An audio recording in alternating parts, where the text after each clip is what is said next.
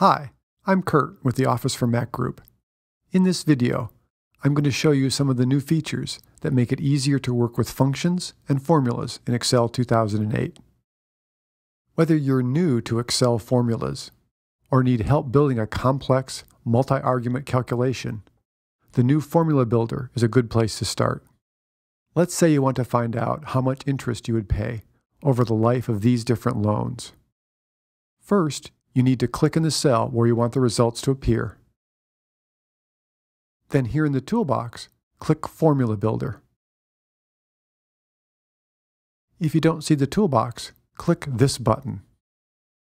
If you're not sure which function to use, try searching for what you want to do. Okay, that narrows down the possibilities, but these function names are still a bit puzzling. If you click a function, you can see a plain language description of what it does. This one says that it returns the cumulative interest paid between two periods, which sounds like what we want to know. To use this formula, just double click and Excel sets up everything for you. Now, when you click in any of these boxes, you can see what information you need to provide for each argument.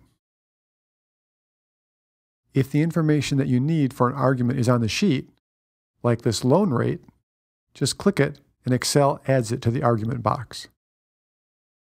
For this argument, you need the total number of payments, which in this case would be 30 years times 12 payments per year, or 360 payments.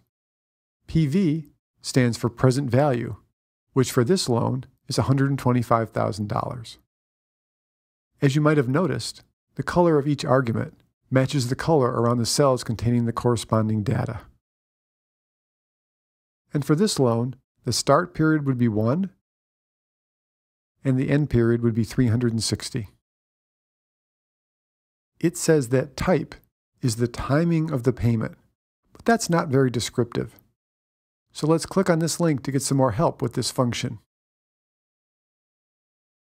As you can see, there's detailed syntax for all of the arguments, as well as examples and sample data that you can copy.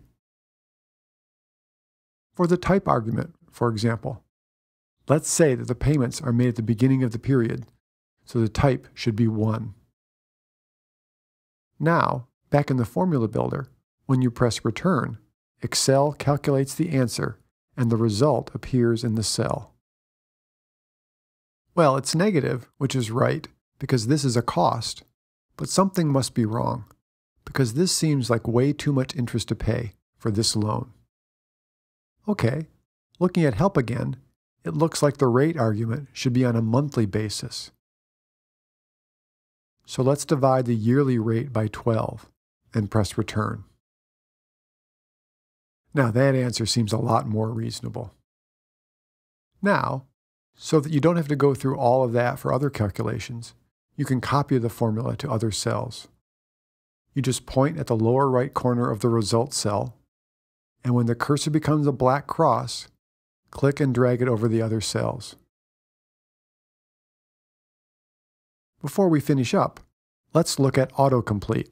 It's another Excel 2008 feature that can help you with formulas. Say you want to calculate the average of these interest rates but you can't remember the exact name of the function. If you type an equal sign to begin the formula, and then type A, here in the list of A functions is average, which is the one you want. And now you can complete the formula in the Formula Builder or directly on the sheet.